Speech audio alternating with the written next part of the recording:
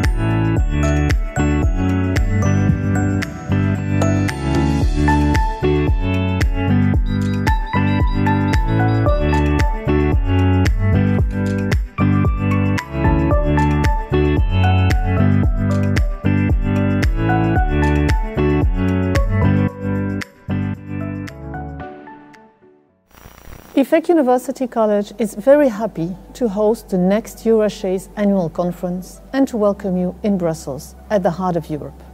Just after the launch of the new Erasmus Plus and Horizon Europe programs, and let's not forget other initiatives such as the Digital Education Action Plan 2127. Since its creation, EPHEC University College has pursued a process of continuous transformation thanks to its own culture and pedagogical DNA. This constant evolution allows us to continually take up new challenges and adapt our training offer to new societal issues.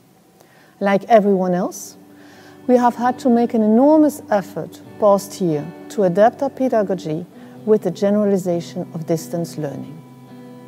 This experience has accelerated the digitalization process and the reflection on the combined integration of the following elements digitalization, inclusion, and the United Nations Sustainable Development Goals.